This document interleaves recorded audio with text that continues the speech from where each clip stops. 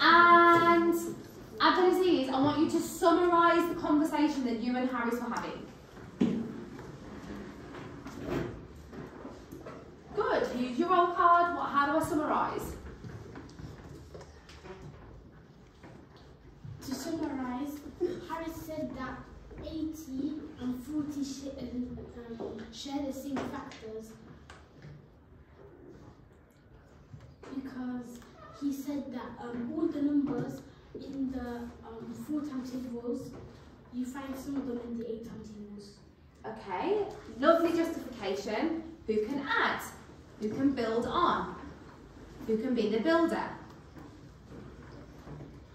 Lydia. I agree what they're saying, but I disagree with the fact that they say that all the all the factors of 80 are factors of 40 because if you see next to the 5 it says 5 and 16 but for, for 40 times tables you wouldn't find the factor 16.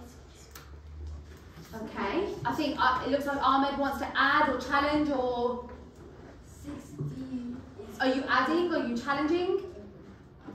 Okay, 16 is um,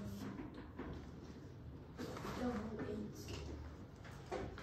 Eight. okay, thank you. 16 is double 8.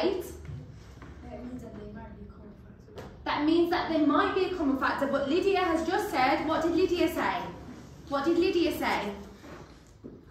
Who was active listening? Stephen, what, no, there's no 16 in the 40s. when we are multiplying two numbers, I never multiply 16 and my product is 40. I multiply 16 by 5 and I get the product of 8. But 16 is not a common factor of 40 and 80.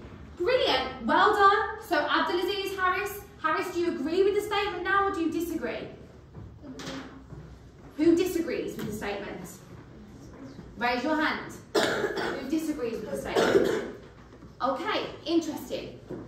Year five, your job is your fluency now. In your books, you have our turn, your turn, and you're finding common factors. You can neatly draw your Venn diagrams. There's a model on the board. I'm counting in from 10 to 0. By 0, you're settled and you're working on your fluency. Off you go.